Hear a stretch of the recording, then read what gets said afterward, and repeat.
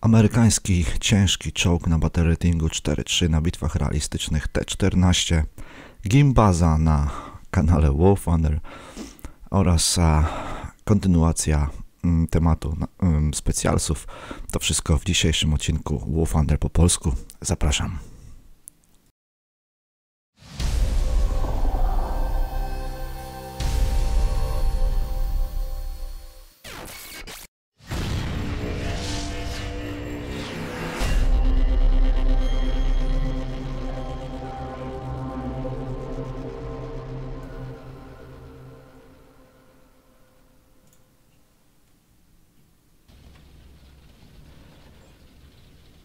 Jednym z pojazdów, które w tym miesiącu możecie kupić za obligacje e, jest e, czołg ciężki na battle ratingu 4.3 na bitwach realistycznych.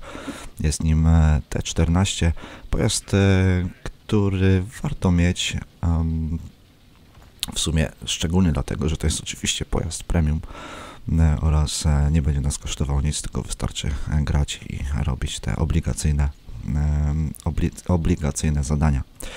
A cena jego to 3600 obligacji, 12 zadań dodatkowych, czyli tych tak zwanych medali, które również w sklepie z obligacjami możemy kupić.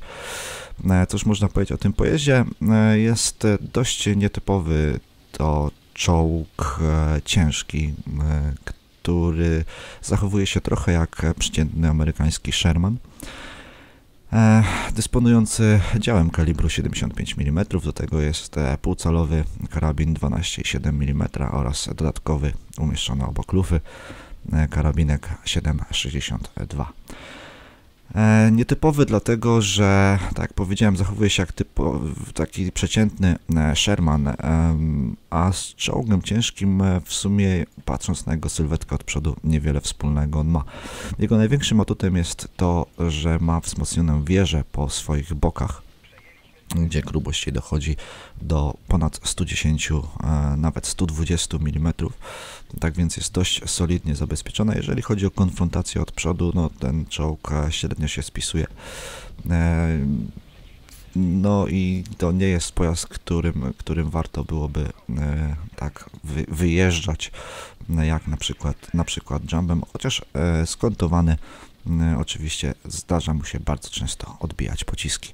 Najgroźniejszym rywalem jest oczywiście dla pojazdów KW, e, gdzie e, te stalowe kolosy, zarówno amerykańskie, jak i radzieckie, sowieckie oraz ta wersja mm, na battle, na battle ratingu 4.0 w drzewku niemieckim, ten premiowy KW. No, te pojedynki wyglądają dość ciekawie, śmiesznie i w zasadzie tutaj ciężko wskazać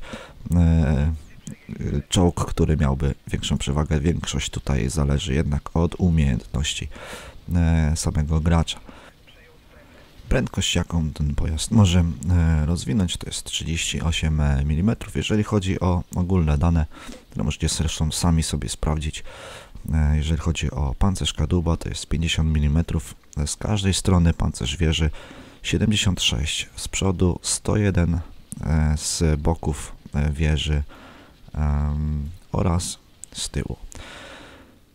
E, pociski. E, no cóż, jeżeli chodzi o pociski, uzbrojony ten czołg jest podobnie jak e, inny premiowy pojazd e, Cobra King, czyli, czyli po prostu sam e, Jumbo, e, ten z drzewka którego normalnie można zdobyć. Wyposażony on jest w, podobnie w pociski te tak zwane podkalibrowe, które mają penetrację ze 100 metrów, 137 mm. Są też przeciwpancerne e, na 100 metrach 109 mm oraz pocisk przeciwpancerny z czepcem i czepcem balistycznym na 100 metrach 88 mm tylko i wyłącznie. E, jego mobilność e, minimalnie wydaje mi się lepsza od Mm, Jumbo oraz e, od Cobry King. Ogólnie mm, pojazd przyjemny, battery rating średni, tak więc e, dość nieźle go rzuca. Do tego oczywiście premiówka e, dająca nam sporego boosta. Jeżeli chodzi o erę, niestety jest to era druga, tak więc No trochę szkoda, bo jeżeli chodzi o dalsze zdobywanie tych obligacji, no to musimy skończyć już na erze drugiej, nie możemy tego czołgu wykorzystać w kolejnych mm, w kolejnych e, zadaniach obligacyjnych, które, do których wymagane jest baterii, e, do których e, potrzebna jest, przepraszam, era trzecia. Ale mimo wszystko, tak jak powiedziałem wcześniej, warto, warto się skupić na, na tych obligacjach i, i postarać się zdobyć ten pojazd tym bardziej, że jest on za zupełną darmochę. Daje trochę fanu.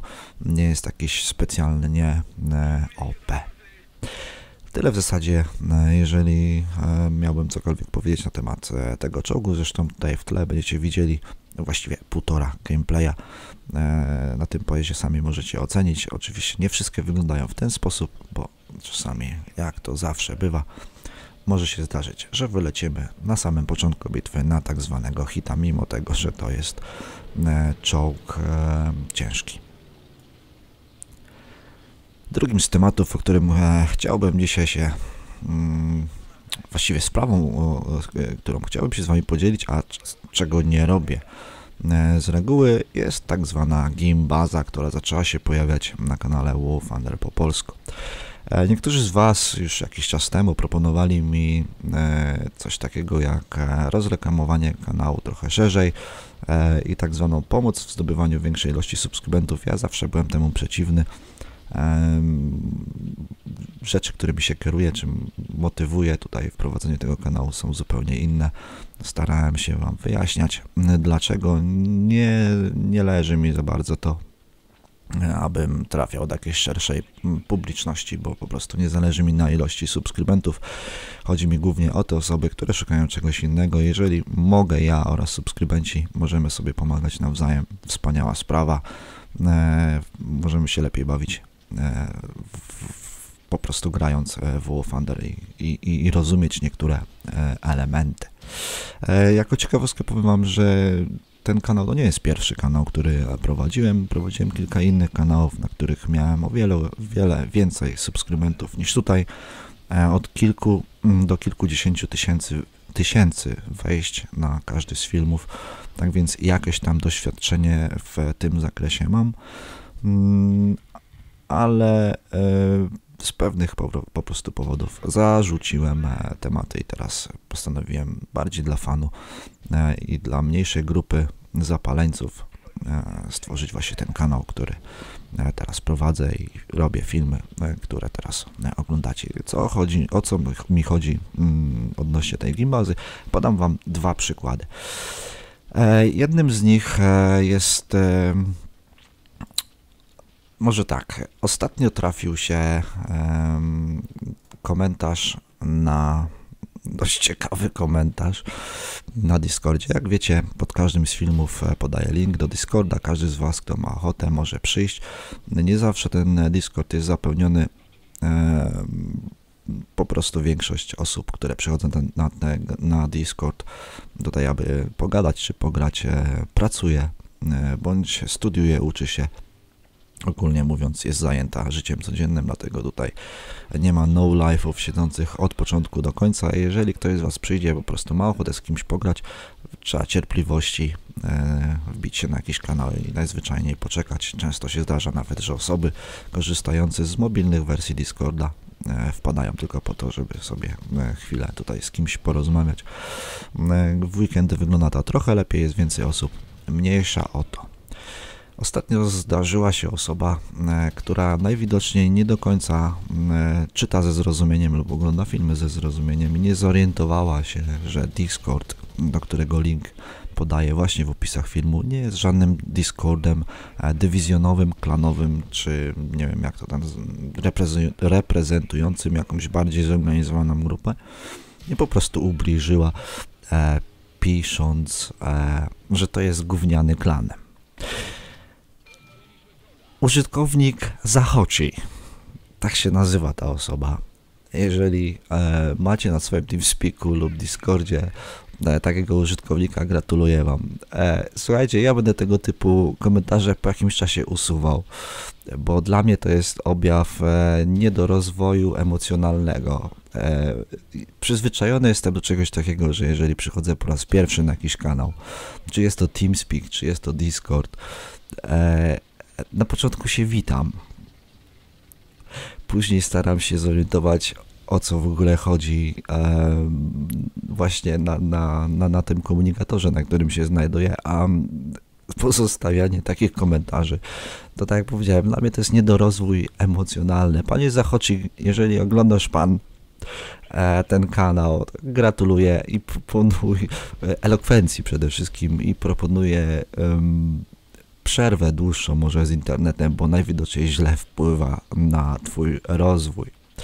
E, drugim, e, drugim komentarzem, e, który mnie rozbawił, trafił mi się, trafił mi się komentarz, mm, trafił mi się komentarz na mm, YouTubie, którego też zablokowałem, ale po jakimś czasie, po to, aby jeszcze parę osób mogło się pośmiać i poczytać. Użytkownik Sofam1 napisał Wybaczcie, ale ciężko mi powstrzymać śmiech. Fajny kanał, sam jestem mocno zaawansowany. E, Mamy wszystkie nacje bez ostatnich czołgów 1.77. Ale twój nick i wizerunek niestety mnie zniechęcają. Jak zmienisz, zacznę oglądać. E, ja bym się nie zdziwił, gdyby to była ta sama osoba. Jeżeli chodzi o Soulfam 1, e, ta sama sprawa, niedorozwój emocjonalny, totalny. E, do tego chyba e, underage e, osoba, czyli zdecydowanie poniżej 16 roku życia. Jeżeli starsza, no to tym bardziej e, jakiś rodzaj niedorozwoju.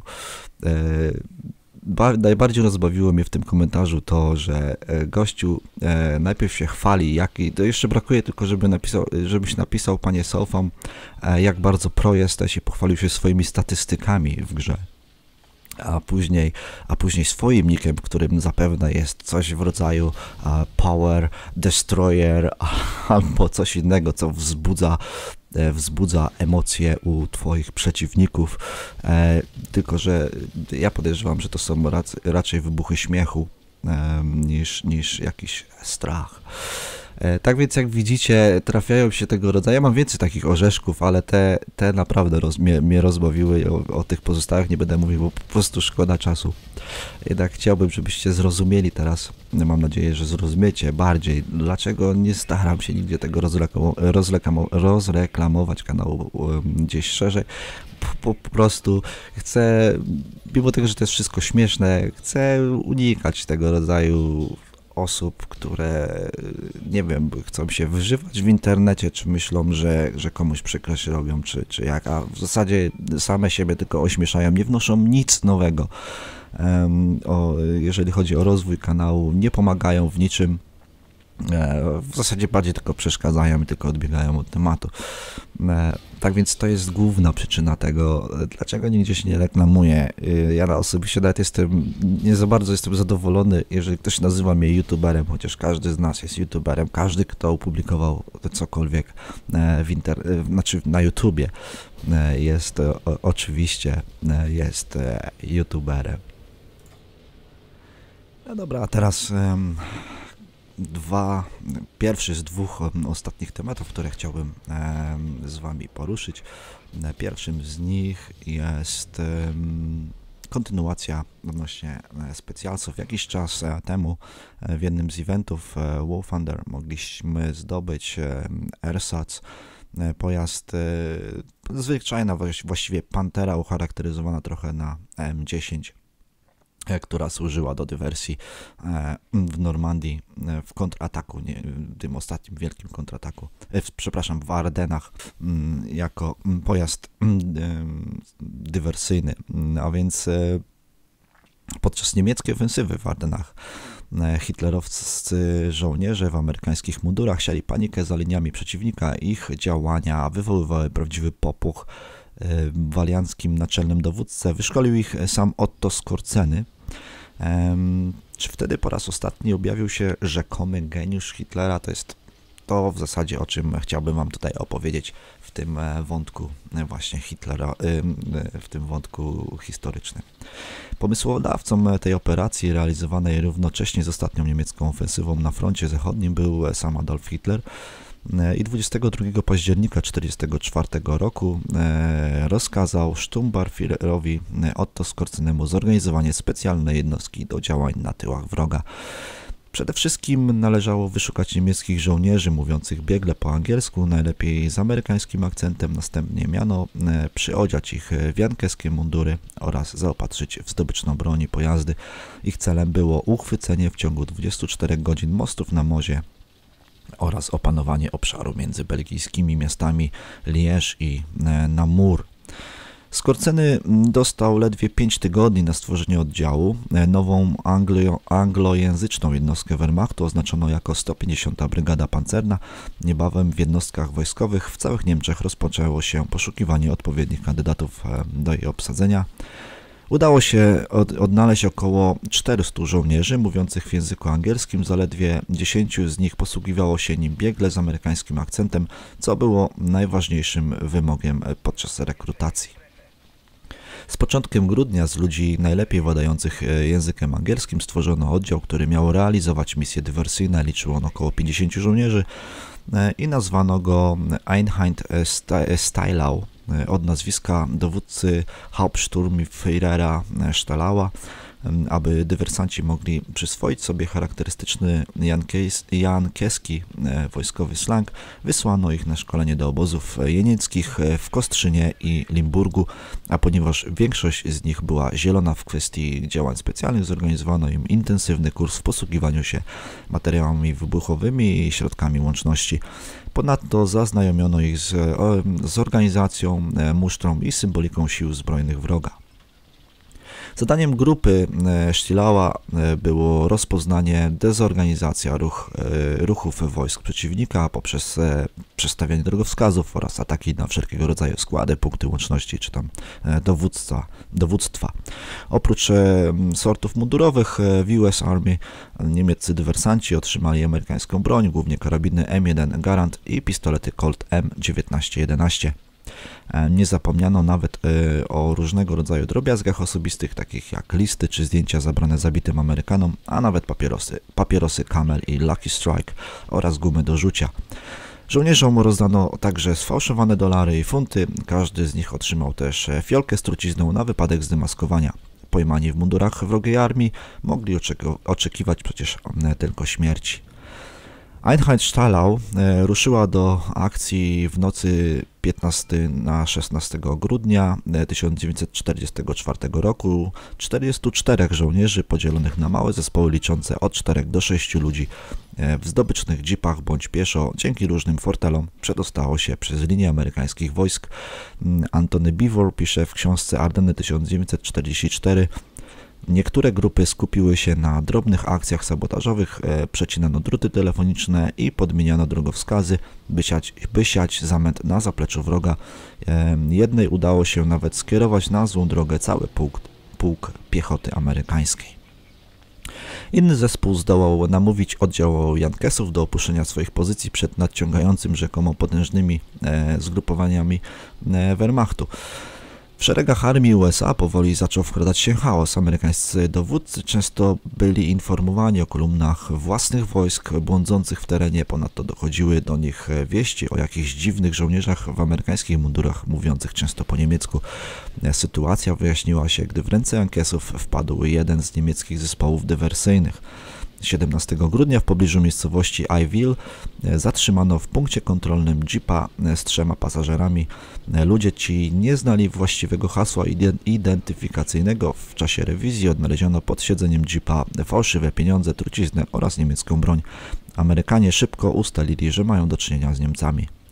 Podczas przesłuchania w pobliskiej jednostce jeden z zatrzymanych Ober, Obergefreiter, te niemieckie stopnie wojskowe, E, Wilhelm Schmidt wyjawił zdumionym śledczym, że głównym zadaniem jednostki stworzonej i dowodzonej przez Otto Skorcenego jest sam generał Dwight Eisenhower. Niemcy mieli jakoby zamiar zaatakować siedzibę naczelnego dowództwa alianckich sił ekspedycyjnych w Paryżu i zgładzić popularnego Aika. Z uwagi na reputację skorcenego Amerykanie zareagowali na te rewelacje do, dość nerwowo. Eisenhower poruszał się po mieście tylko ciężkim wozem pancernym, a od 19 grudnia praktycznie internowano go na tydzień w sztabie. E, cały budynek został wówczas otoczony zasiekami z drutu kolczastego, znacznie zwiększono liczebność ochrony, drobiazgowo sprawdzono przepustki, a nawet e, sprowadzano, e, sprowadzono w, w pobliże kilka czołgów. E, podobne rzeczy działy się w terenie, zapanowała tam istna psychoza strachu przed dywersantami, aby ich wyłapać. Amerykańska żandarmeria szczegółowo wypytywała podczas kontroli o różne niuanse życia codziennego w Stanach Zjednoczonych. Nie uniknęli tego nawet e, wyżsi e, dowódcy, jak wspominał generał Bradley. Za pierwszym razem chcieli, abym za stolicę Illinois uznał miasto Springfield. Za drugim zapytali, czy w piłce nożnej miejsce obrońcy znajduje się między środkowym napastnikiem a łącznikiem. Za trzecim razem miałem podać, kto jest w danej chwili kolejnym małżonkiem pięknej blondynki Betty Grable. Amerykańscy chłopcy dali się nawet e, we znaki dumnemu i aroganckiemu marszałkowi Montgomery'mu, e, który wystosował w tej sprawie oficjalną skargę do sztabu 9 e, Armii. E, ciekawą i nieco humorystyczną sytuację opisuje Anthony Beevor we wspomnianych, wspomnianych już Ardenach w odniesieniu do znanego brytyjskiego e, aktora Davida Nivena. Służył on wówczas jako oficer e, zwiadu w pułku łączności Phantom, ale paradował w mundurze brygady strzelców. Ten właśnie strój wzbudził podejrzenia amerykańskiego patrolu. Pytanie brzmiało, kto zwyciężył w mistrzostwach baseballu w 1940 roku? Nie mam pojęcia, ale powiem, że dwa lata wcześniej zagrałem w filmie z Ginger Rogers. Dobra, spadaj Dave, od, odparł e, uspokojony żandarm, ale włóż jakieś porządne łachy do cholery. W nieszczególnym położeniu znalazł się również dowódca obrony miasteczka Saint-Viv, e, generał Bruce Clark. Został zatrzymany na 5 godzin przez swoich własnych żołnierzy. Na próby perswazji, y, że z jego strony y, jeden z pilnujących go strażników odpowiedział: Nie rozśmieszaj mnie, jesteś jednym z tych nazistowskich morderców. Działania podjęte przez Amerykanów zaczęły jednak stopniowo przynosić efekty. Jeden z zespołów został zlikwidowany na miejscu, gdy żandarmi odkryli u zatrzymanych żołnierzy nieregulaminowe obuwie. Drugi zdemaskował się sam z powodu niewłaściwych czapek. E, ostatni dywersant z grupy e, Steilau został zastrzelony 26 grudnia w pobliżu miejscowości Hotyn. E, w międzyczasie wyłapano jeszcze kolejnych kilkunastu jego kompanów. W sumie schwytano ich 22, z czego 20 zostało skazanych na śmierć przez rozstrzelanie lub powieszenie. Ogółem wojnę przeżyło 8 z 44 ludzi, którzy wyruszyli za amerykańskie linie. Mimo wywołania paniki e, w szeregach wroga i przyprawieniu kilku amerykańskich generałów o palpitację serca, niemieccy dywersanci ponieśli klęskę. Przede wszystkim nie udało im się zająć mostów na mozie, które były głównym celem operacji. Powodem tego były zbyt nikłe siły, jakie skierowano do akcji oraz pospieszne i niezbyt dokładnie e, nie, pospieszne oraz nie, niezbyt dokładne przeszkolenie i wyposażenie samych Niemców e, w zetknięciu z jankeskimi żandarmami nieznajomość realiów amerykańskiego stylu życia miała zasadnicze znaczenie. Nie zmienia to jednak faktu, że w poszukiwaniu dywersantów zaangażowało się tysiące alianckich żołnierzy, którzy zdecydowanie bardziej przydaliby się e, na froncie. Tyle jeżeli chodzi o wątek historyczny w tym odcinku. Na koniec mam dla Was pewną propozycję, która zupełnie nie jest związana e, z tym, co do tej pory robiłem, a już na pewno nie e, z grą War Thunder. E, przede wszystkim teraz robię dłuższą, ponadtygodniową przerwę, jeżeli chodzi o nagrywanie, ze względu na mój kolejny wyjazd, zresztą coroczny. Wylatuję na środek Oceanu Atlantyckiego w kilka miejsc, które muszę odwiedzić ale jednym z tych miejsc będzie coś, co ma e, trochę wspólnego z e, jedną z największych ikon Realu Madryt. E, jeżeli jesteście zainteresowani, e, abym zrobił w czasie mojego wyjazdu coś takiego odbiegającego zupełnie od gry, lubicie piłkę nożną albo jesteście fanami Realu Madryt, macie ochotę na to, abym zrobił taki nieszablonowy, nietypowy, niestandardowy odcinek, dajcie znać w komentarzach. E, przygotuję e, to dla Was e, ze względu na to, że spędzę w tym miejscu około 5 czy 6 dni, tak więc będę miał sporo czasu. Tak więc specjalnie dla subskrybentów kanału Wolfander po polsku coś nie mającego nic wspólnego z Wolfander, ale po polsku oczywiście dla Was będę mógł zmontować. Tyle w zasadzie ode mnie. Ja Wam życzę dobrej zabawy, powodzenia w grze oraz e, do usłyszenia, do zobaczenia w kolejnych częściach e, Wolf Thunder e, za trochę dłużej niż to było do tej pory. Ja się z Wami żegnam i cześć.